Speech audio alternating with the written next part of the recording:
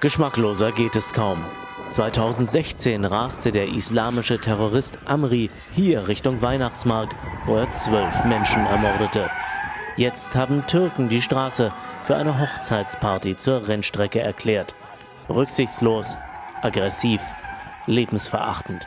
Diese Kultur gehört nicht zu Deutschland. Integration gescheitert, Senat mit Schuld sagt AfD-Fachsprecher Hanno Bachmann. Wenn ich mir dieses aberwitzige Video ansehe, muss ich leider mal wieder sagen, gescheiterte Integration führt immer wieder zu Rücksichtslosigkeit und Regellosigkeit im Alltag. Es kann potenziell jeden treffen. Solch ein lebensgefährliches Imponiergehabe hat auf unseren Straßen und in unserer Stadt einfach nichts zu suchen. Statt Falschparker zu drangsalieren, sollte der Senat konsequent gegen ein solches Verhalten einschreiten. Es muss ermittelt werden und Straftäter müssen dann auch bestraft und gegebenenfalls abgeschoben werden.